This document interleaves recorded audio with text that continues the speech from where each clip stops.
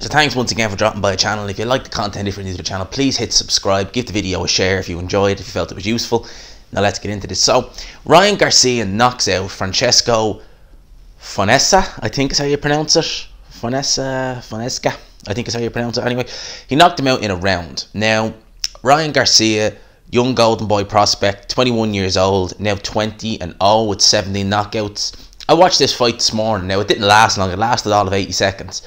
But watching the fight, I realised that I actually hadn't done any videos on my channel about Ryan Garcia. And I actually rate Ryan Garcia quite highly as a prospect. You know, he's shown to have, you know, some decent punching power. Now he's shown to be, you know, tough because he had a tough fight there against that Carlos Morales guy there back at the end of 2018. And that was a tough fight. Since then, he's been, you know, pretty much knocking the KOs like clockwork. So back to back first round knockouts. He had a second round stoppage over a guy called Jose Lopez and the latest he's gone prior to that was a fifth round stoppage. So Garcia's been looking good as of late. You know, he is flashy. He can punch a bit, definitely. And this guy he beat, Francisco Fonessa. I think I'm probably saying the name wrong. He's a 25 year old Nicaraguan. Now he's only had three losses.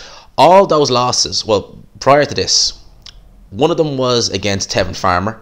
Went the distance with Tevin Farmer. That was for the IBF uh, super featherweight title. So he was moving up to fight Ryan Garcia. It had to be said because this guy had campaigned at featherweight. So he or super featherweight, I should say. So he moved up to fight Ryan Garcia, and obviously prior to that he fought Tevin Farmer.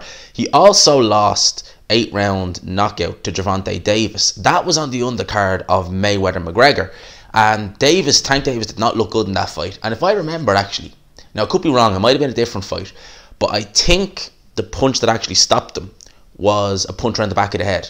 Now, I could be wrong about that, but I think that was what actually stopped him. So, you know, he's been in there with good company.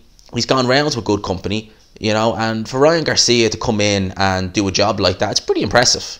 You know, it has to be said. It's good going from Garcia. If you watch the fight, you'll see Garcia has some speed. He's explosive. So he looks like he's, you know, he looks like someone who's definitely one to watch. The left hook, the lead left hook, was bothering his opponent in this fight because he caught Fonessa with one shot early on before the knockdown. And to be fair, he was off balance, but he definitely seemed to be shaking to his boots. Definitely. And then obviously the, the knockout came, lead left hook, straight down. Opponent wasn't getting up. Referee waved it off. Hell of a knockout. Ryan Garcia looking explosive. You know, Canelo is, you know, heavily backing Ryan Garcia. We've seen Canelo, you know, speak English to Ryan Garcia, you know, giving him compliments, all this. So Garcia definitely want to watch. They said they want Tank Davis next or by the end of the year. No one Tank Davis. Well, Tank Davis, I mean, oh boy, he's all kinds of fucked up. That guy. Um, I'd like to see that fight, but Tank Davis has issues. It's fair to say, you know, outside the ring. Tank Davis is with Al Haymon and Floyd Mayweather, and they've been unwilling. Well, they were unwilling to make Lomachenko versus Tank Davis. You know, when Lomachenko had titles at 130 pounds. So I don't know. Would they be willing to make this fight? I don't know. I'd love to see it. I'd actually probably pick Ryan Garcia to beat Tank Davis. Even though I rate Tank Davis, I think Ryan Garcia is one to watch. I think he's very good. And I think it's his time to shine. So I'd love to see him against Tank Davis. But the problem is, again, Al Haymon likes to keep all these things in house. So you know, the likelihood of getting that fight, I can't see it unless Ryan Garcia is a mandatory. Then I may be able to see it, but for now, can't see it. Can't see him getting the Tank Davis fight, which is a shame because I would love to see Ryan Garcia versus Tank Davis.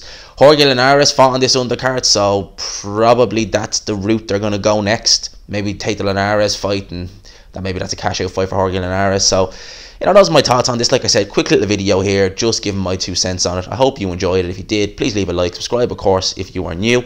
And as always, I will talk to you after.